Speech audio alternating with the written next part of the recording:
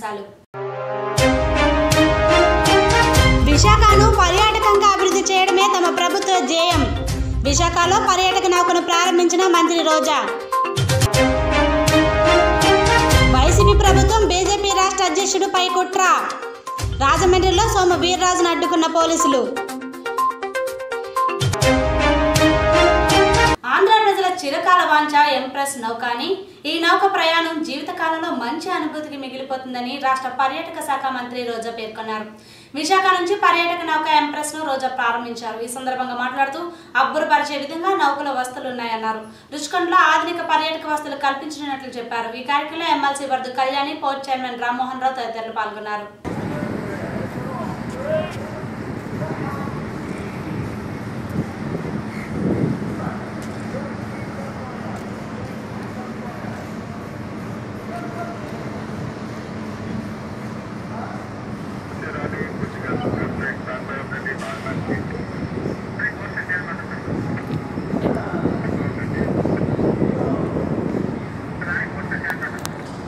ఈరోజు అలల మీద కలనవ కళ్ళ ముందుకే వచ్చేసింది.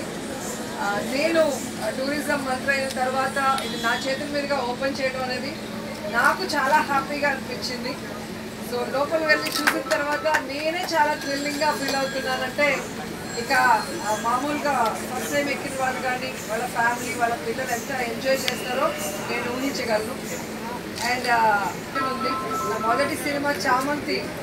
ఈ వైజాగ్లోనే బీచ్లోనే ఆల్మోస్ట్ వన్ ఇయర్ మేము షూటింగ్ చేస్తూనే ఉన్నాము భీమిలి కానీ బీచ్లో కానీ సో ఈరోజు టూరిజం మంత్రిగా టూరిజానికి ఒక కొత్త శోభ కలిగించే విధంగా ఈ షిప్ ఈ క్రూజ్ రావటం అనేది చాలా హ్యాపీగా ఉంది.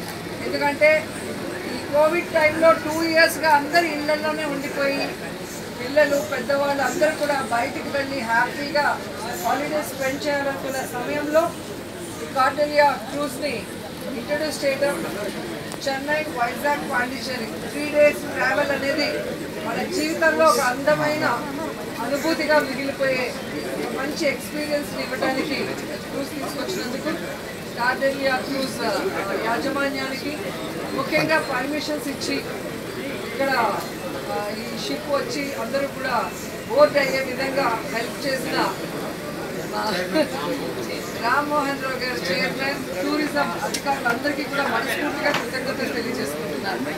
అండ్ తొందరలోనే ఫ్యూచర్లో ఈ క్రూజ్ టర్మినల్ కూడా కన్స్ట్రక్ట్ చేయాలి అని నిర్ణయం తీసుకొని స్టార్ట్ చేశారు. సో అది వచ్చిన తర్వాత ఇంకా దేశ విదేశాల నుంచి కూడా రెండు వేల మంది ప్యాసింజర్స్ అన్లోడ్ అయ్యి లేదా బోర్డ్ అయ్యే విధంగా ఈ టెర్మినల్స్ ఉంటాయి ఎయిర్పోర్ట్లో లాగా అన్ని ఫెసిలిటీతో షాపింగ్స్తో పాటు మరి అది కట్టబోతున్నారు అనగానే నిజంగా చాలా హ్యాపీగా ఉంది. మండలం చిలకపాలెం నారాయణపురం భూములను తరతరాలుగా సాగు చేస్తున్న రైతులను భూముల విషయంలో రాష్ట్ర ప్రభుత్వం అండతో అక్రమ అరెస్టులు చేసి పోలీస్ స్టేషన్కు తరలించారు. ఈ అక్రమ అరెస్టులను ఖండిస్తూ తెలుగుదేశం పార్టీ పొలిట్ బ్యూరో సభ్యులు మాజీ మంత్రివర్యులు హెచ్చర్ల నియోజకవర్గ ఇన్ఛార్జ్ శ్రీ కిమిడి కళా వెంకట్రావు స్థానిక హెచ్చర్ల క్యాంప్ కార్యక్రమంలో నిర్వహించిన పత్రికా సమావేశంలో మాట్లాడుతూ దశాబ్దాలుగా సాగు చేస్తున్న రైతుల పట్ల దౌర్జన్యాన్ని తీవ్రంగా ఖండిస్తున్నా అలాగే ఈనా భూముల విషయంలో చట్టం నిర్దేశించే విధంగా నడుచుకోవాలని పేదవారి పట్ల నిరంకుశంగా అధికారుల చర్యలు ఉండకూడదని కోర్టుల ఉత్తర్వుల ప్రకారం సామరస్యంగా పరిష్కారం జరిగేలా అధికారులు చర్యలు తీసుకోవాలని డిమాండ్ చేశారు. పోలీసు ఉన్నతాధికారులతో ఫోన్ ద్వారా మాట్లాడి రాజకీయ కోణంలో అరెస్ట్ చేసిన రైతులను తెలుగుదేశం పార్టీ నాయకులను కార్యకర్తలను వెంటనే విడుదల చేయాలని కోరారు. ఈ విషయంపై అధికారులు సానుకూలంగా స్పందించారు. ఈ కార్యక్రమంలో మండల నాయకులు పలువురు చిలకపాలు నాయకులు కార్యకర్తలు పాల్గొన్నారు.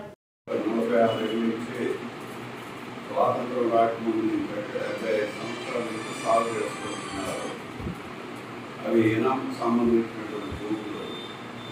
ఇనాం భూములకి ఇక్కడ ఎంఆర్ఓ కానీ ఆర్డీఓ కానీ లేవు అవి సిఎల్ఆర్ ఆఫీస్లో ప్రత్యేక ఆఫీస్ పెట్టారు కాబట్టి అక్కడ తెలుసుకోవాల్సినటువంటి వ్యవహారాలు మరి ఇక్కడ ఏ విధంగా అయితే కోర్టులో ఆర్డర్ తెచ్చుకున్నారో దాని మీద మేము వ్యాఖ్యానించాం కానీ ఆ ఆర్డర్ మీద ఈవేళ హైకోర్టుకి మరి హౌస్ మోషన్ పిటిషన్ను చేశారు కాబట్టి దాన్ని రేపు ఉదయం తొమ్మిది గంటలకి హైకోర్టు టేకప్ చేస్తుంది వరకు ప్రొవైజర్స్ స్టెప్స్ తీసుకోకపోవడం అనేటటువంటి అడ్వకేట్ తాలూకా ఇన్ఫర్మేషన్ అందరికీ ఉన్నటువంటి ఫిర్యాదాలకి అదేవిధంగా కక్షదారులకు కూడా అందువల్ల పోలీసులు ఇమీడియట్గా రిలీజ్ చేసి ఇంకవేగము ఇలాంటివి చాలా కేసులు ఉన్నాయి కానీ పోలీసు రెవెన్యూ వాళ్ళు ఎంత ఉత్సాహం చూపించారంటే దీని అంట ఏదో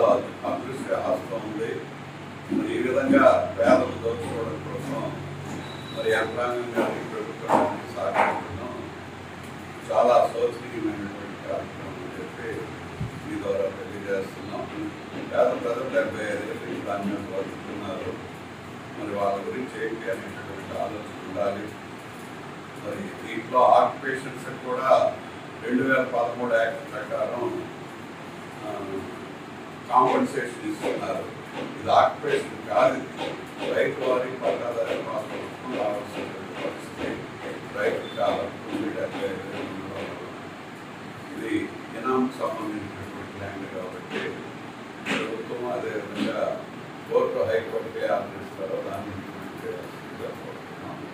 ఈ లోపల చిరపాలెం గ్రామ ప్రజలకి పేదల్ని ఆడవాళ్ళని కూడా అరెస్ట్ చేయడం పట్టుకెళ్ళడం అరెస్ట్ చేయడం ఇది రాజ్యాంగానికి విరుద్ధం మరి ఆ విధంగా చేస్తున్నటువంటి కార్యక్రమం ఏదైతే అది చట్టరీత్యా కానీ అదేవిధంగా రాజ్యాంగ రీత్యా కానీ ఇల్లీగల్ కాబట్టి ఇలాంటి కార్యక్రమాలు జగన్మోహన్ రెడ్డి గారి ప్రభుత్వం మానుకోవాలని కూడా డిమాండ్ చేస్తుంది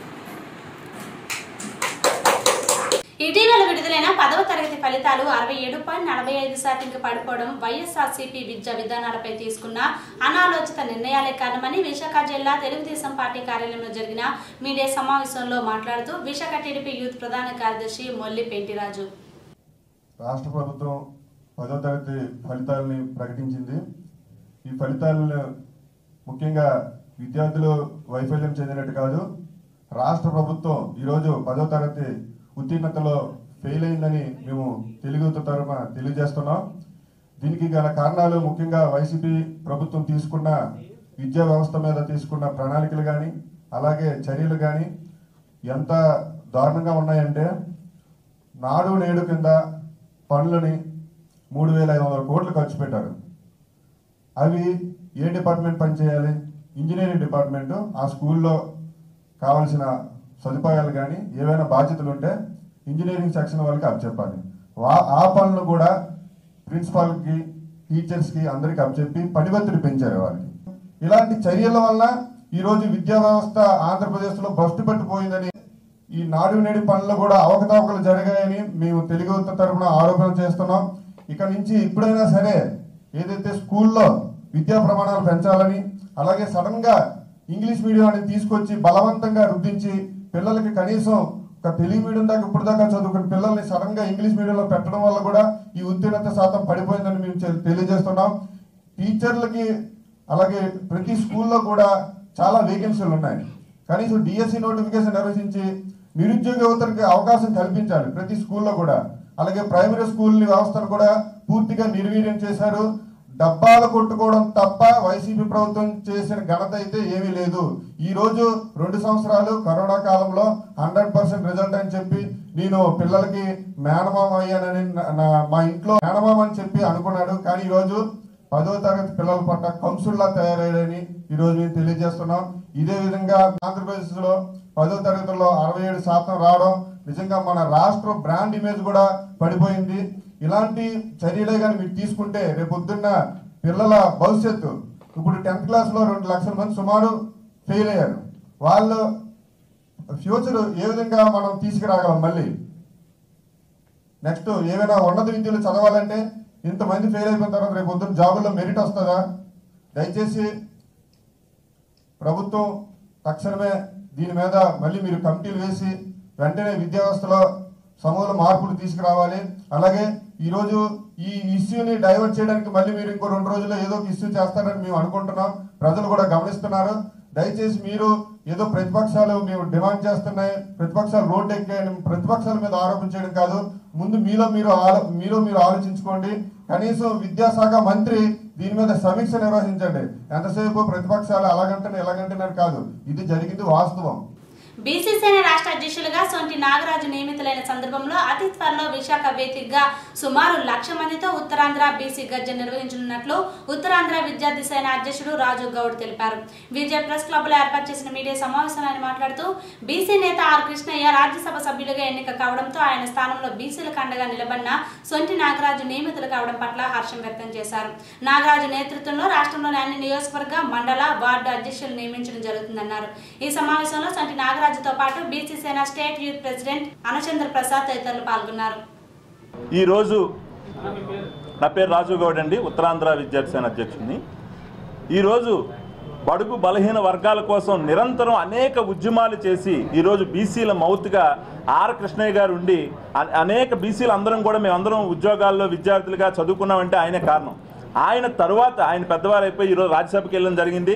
ఆయన తర్వాత ఆంధ్రప్రదేశ్ రాష్ట్రంలో బీసీల కోసం బీసీ యువత కోసం బీసీ టైగర్లా ఈరోజు బీసీ బడుగు బలహీన వర్గాల ఆశాజ్యోతిలాగా ఈరోజు మా రాష్ట్ర అధ్యక్షులు సొంటి నాగరాజు గారు నిరంతరం పోరాడుతున్నాడు. వాడు ఎవడైనా సరే సరే నేనున్నాను బీసీలకి నేను అండగా ఉన్నాను యువతరానికి నేను అండగా ఉన్నాను మీకోసం నేను ఏదైనా ఇస్తాను ఏదైనా చేస్తాను అనే ఉద్దేశంతో నిరంతరం సపోర్ట్గా ఉండి ఈరోజు మా ఆంధ్రప్రదేశ్లో బీసీ టైగర్ ఎవరైనా ఉన్నారంటే సొంటి నాగరాజు గారు.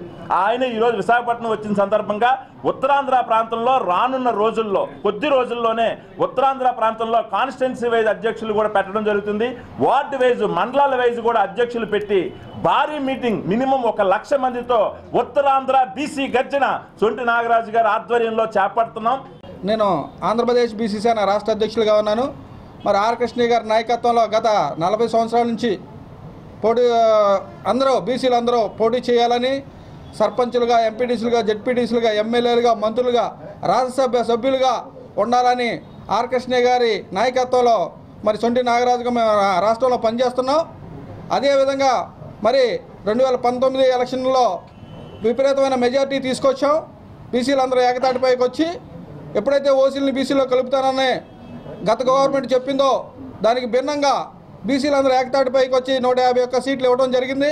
అదేవిధంగా ఈ రోజున రెండు వేల ఇరవై నాలుగులో మరి బీసీల సత్తా చాటేందుకు మళ్ళీ సిద్ధంగా ఉన్నాం. రాష్ట్రంలో ఎక్కడైతే బీసీలను చిన్న చూపు చూస్తారో ఏ నియోజకవర్గాలు అయితే బీసీలకు ప్రాముఖ్యత ఎవరో ఆ నియోజకవర్గాలన్నింటిలో పార్టీలకు అతీతంగా ఇండిపెండెంట్గా కూడా పోటీ చేయడానికి బీసీసీఐ సిద్ధంగా ఉందని ప్రభుత్వాన్ని హెచ్చరిస్తున్నాం. అదేవిధంగా గతంలో బీసీలకి బడ్జెట్ చాలా తక్కువ ఇచ్చారు. లాస్ట్ టైం కూడా తక్కువ ఇచ్చారు. మరి సిక్స్ పర్సెంట్ ఉన్న వాళ్ళకి మూడు వేల కోట్లు నాలుగు వేల కోట్లు ఇచ్చి యాభై ఆరు శాతం ఉన్న బీసీలకి మాత్రం ఇరవై తొమ్మిది వేల కోట్లు ఇవ్వడం చాలా దుర్మార్గం. బడ్జెట్లో సగం పైన బీసీలు కేటాయించాలని గతంలో కూడా చెప్పాం.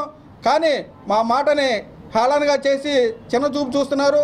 మరి రానున్న రాజు రానున్న రోజుల్లో రాష్ట్ర వ్యాప్తంగా ఈ రోజున విశాఖపట్నంలో జరిగినట్టుగానే త్వరలో బహిరంగ సభలు నిర్వహిస్తాం. అన్ని నియోజకవర్గాల్లో కూడా బీసీలని ఎస్సీలని మైనార్టీలని చైతన్యం చేసే విధంగా మేము ముందుకెళ్తున్నాం. అదేవిధంగా అప్పుడు క్రిస్టియన్ వ్యవస్థ ఏఐసిసి నేషనల్ జనరల్ సెక్రటరీ గారు మనతో ఉన్నారు. క్రిస్టియన్ వ్యవస్థను కూడా ఒక తాటిపైకి తీసుకొచ్చి ఆల్వేస్ రాష్ట్రంలో బీసీల సత్తా ఇది అని చూపించడానికి రెండు వేల పద్నాలుగులో సిద్ధంగా ఉన్నామని మీడియా సమక్షంగా తెలియజేస్తున్నాం. వైసీపీ ప్రభుత్వం వల్ల రాష్ట్ర బీజేపీ అధ్యక్షుడు సోము వీర్రాజ్కి ప్రమాదం పొంచి ఉందని బీజేపీ ఏపీ మీడియా ప్రతినిధి మాలకొండయ్య ఆరోపించారు. దీనికి నిదర్శనం రాజమండ్రిలో కోనసీమ వెళ్తున్న రాష్ట్ర అధ్యక్షులను పోలీసులు అడ్డుకోవడమే నిదర్శనమని దీనికి వైసీపీ ప్రభుత్వం తగు మూల్యం చెల్లించాల్సి వస్తుందని ఆయన అన్నారు. నమస్కారం. భారతీయ జనతా పార్టీ పెద్దలు రాష్ట్ర అధ్యక్షులు సోము వీరాజు గారు రాజమహేంద్రవరంలో ఏడో తేదీన గోదావరి గర్జన విజయవంతం చేసుకొని జాతీయ అధ్యక్షులు శ్రీ నడ్డా గారు రెండు రోజుల పర్యటన విజయవంతంగా జరిగిన తర్వాత కోనసీమలో కొంతమంది కార్యకర్తలని కార్యకర్త కుటుంబాలని పలకరించడం కోసం కోనసీమ ఎస్పీ గారితో మాట్లాడి కోనసీమ బయలుదేరడం జరిగింది సోమవీర్రాజు గారు. రాజమండ్రి నుంచి కోనసీమ వెళ్ళే దారిలో జొన్నాడు సెంటర్లో పోలీసులు వీర్రాజు గారిని అడ్డుకోవడం అడ్డుకోవడంలో కూడా విచిత్రమైనటువంటి సన్నివేశం. ఒక ప్రైవేట్ వెహికల్ ఏదైతే పెద్ద వెహికల్ ట్రాన్స్పోర్ట్ ఉపయోగించేటటువంటి ట్రైలర్ ఆ వెహికల్ని అడ్డుపెట్టి వీర్రాజు గారిని అడ్డుకోవడం దాని ద్వారా అడ్డుకోవడంలో ప్రభుత్వం యొక్క మంత్రులు కానీ ఎమ్మెల్యేలు కానీ పోలీసులని ఉసుకొల్పి వీర్రాజు గారు పర్యటనల్ని అడ్డుకోవడం కోసం కుట్ర పండుతున్నారా మరోవైపు చూసినట్లయితే పోలీసులు మాట్లాడినటువంటి భాషను గమనించినట్టయితే రోడ్డుకి అడ్డుపెట్టినటువంటి పెద్ద ట్రైలర్ ఏదైతే ఉందో ఆ డ్రైవర్కి ఇస్తున్నటువంటి సూచనలు ఆపు నువ్వు అక్కడే ఉండు. ఏమవదు నేను చూసుకుంటాను. అనేటటువంటి దాంతోపాటు నువ్వు సరిగ్గా పెట్టకపోతే వెళ్ళిపోతాడు.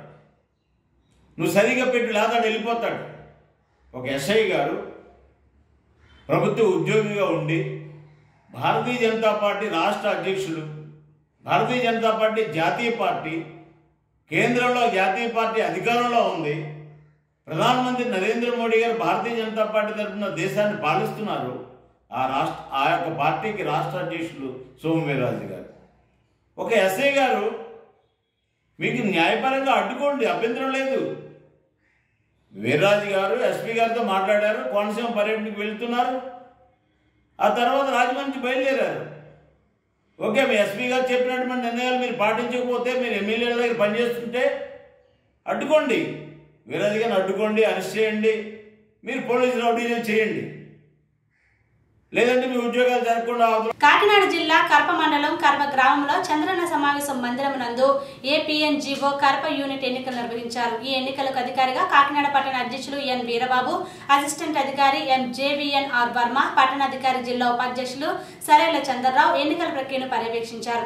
ఎన్నికల అధికారి వీరబాబు మాట్లాడుతూ ఒక పోస్టునకు ఒకే నామినేషన్ రావడం వల్ల ఎన్నిక ఏకగ్రీవం అయిందని ప్రెసిడెంట్గా బీఆర్బి చౌదరి అసిస్టెంట్ ప్రెసిడెంట్గా G Trinatharao vice president B Sujatha M Srinu SK Nagendra Kumar secretary K Venkataratnam joint secretary K Kesavarao CH Sandeep Kumar BHCBM K Subrahmanyam joint secretary women P Chandrakala treasurer K Raghav Kumar ఎన్నికయ్యారని తెలిపారు. సభ్యులను ఉద్దేశించి జిల్లా అధ్యక్షులు గుద్దటి రామ్మోహన్ రావు జిల్లా కార్యదర్శి PV Krishna రాష్ట్ర ఉపాధ్యక్షులు పసుపులేటి శ్రీనివాస్ ఉపాధ్యక్షులు మట్టపర్తి వెంకటేశ్వరరావు శుభాకాంక్షలు తెలియజేస్తూ సంఘ అభ్యున్నతికి కృషి చేయాలని విజ్ఞప్తి చేశారు. ఎన్నికైన పదకొండు మంది సభ్యులకు పూలమాలలతో సత్కరించారు. అనంతరం ప్రమాణ స్వీకారం చేశారు. ఈ కార్యక్రమానికి పంచాయతీ సెక్రటరీలు వీఆర్ఓలు తదితర అధికారులు పాల్గొన్నారు. I, having been elected as President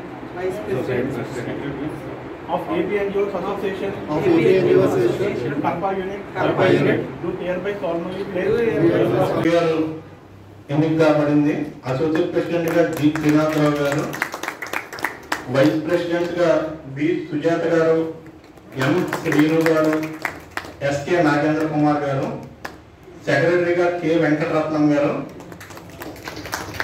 joint secretary K Kesavarao CH Sandeep Kumar CVMK Subrahmanyam గారు జాయింట్ సెక్రటరీ ఒక పోస్టు పి చంద్రకళ గారు ట్రెజరర్ ఒక పోస్టు కె రాఘవ్ కుమార్ గారు వీళ్ళు ఎన్నిక కాబడ్డారు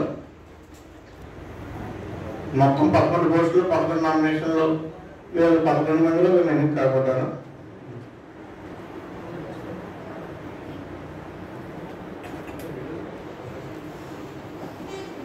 ముఖ్యాంశాలు మరొకసారి.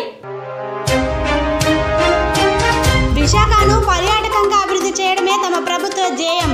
విశాఖలో పర్యాటక నౌకను ప్రారంభించిన మంత్రి రోజా. వైసీపీ ప్రభుత్వం బీజేపీ రాష్ట్ర అధ్యక్షుడు పై కుట్ర. రాజమండ్రిలో సోమ వీర్రాజును అడ్డుకున్న పోలీసులు. ఈ వార్తలు ఇంతటితో సమాప్తం. తిరిగి వచ్చే బిడ్డలో మళ్ళీ కలుసుకుందాం. అంతవరకు సెలవు నమస్కారం. జర్నలిజమే శ్వాసగా? అక్షరాలే అభ్యుదయంగా. స్థానిక సమస్యలు మరియు సామాన్యుల మనోభావాలపై అనుక్షణం అసలైన సమాచారం ఆవిష్కరిస్తూ సామాన్యుడి కష్టం నుండి ఇష్టం వరకు వారధిగా నిలుస్తూ మీ ముందుకు వచ్చింది.